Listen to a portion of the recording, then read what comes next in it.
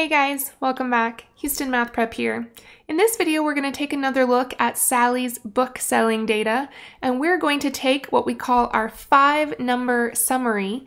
So our Q1, Q2, Q3, min, and max, and use that information to construct a box and whisker plot.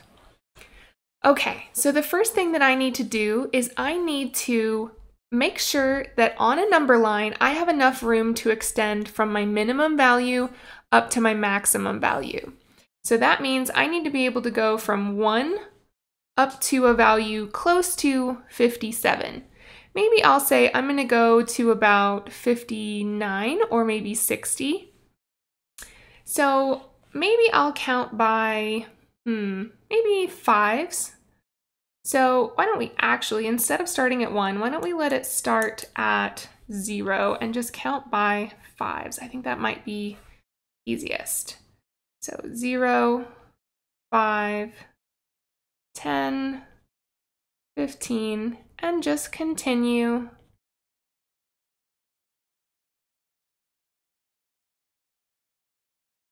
In this way until you get at least up to your max value, if not just a little bit past it.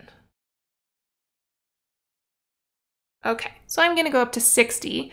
Now I have a scale that is consistent on my number line that I can start to plot values above. So I'm gonna go ahead and start by plotting my Q1 and my Q3 so I can start creating my box. So a Q1 of 17 for me would be about right here. So I'm going to go ahead and draw a vertical line there.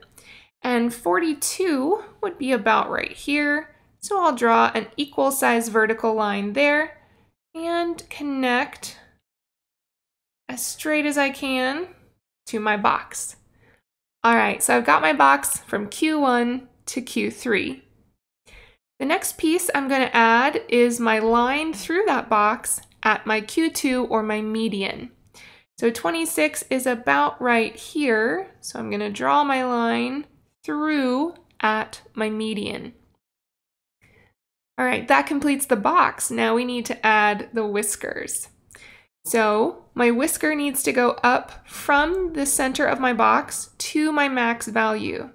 57 would be about there, so I'm going to draw a little stopper for myself and connect from the edge of the box to that max value. And same thing down here at my minimum value of 1, drawing a vertical line, connecting up to my box. So there we have a box and whisker plot for Sally's book sales data. Catch you guys in the next video.